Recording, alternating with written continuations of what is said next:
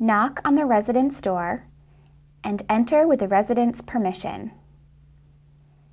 As you approach the resident, introduce yourself as their nursing assistant. Check the resident's ID bracelet to verify their identity. Provide privacy by pulling the curtain. Go to the sink to wash your hands prior to providing care.